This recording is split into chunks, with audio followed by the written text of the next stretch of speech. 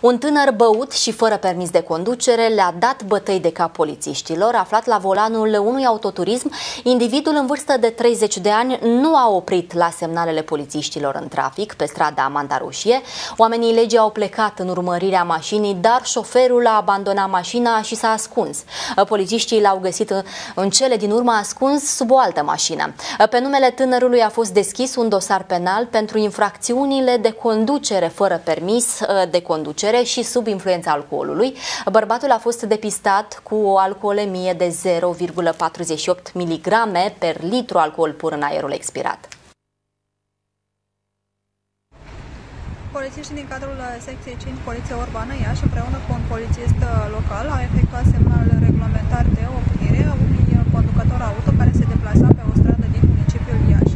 Acesta a refuzat să oprească la semnalul polițiștilor și și-a continuat deplasarea, fiind necesară urmărirea sa. Ulterior, acesta a fost uh, depistat, uh, ascuns sub un autoturism pe raza municipiului Ia și a fost condus la cercetări.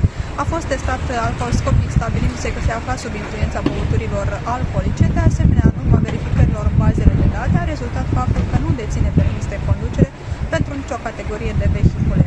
În baza probatorului administrat în cauză de polițiștii uh, ieșeni, bărbatul a fost reținut pentru 24 de ore și prezentat unității de parchet competente cu propuneri legale.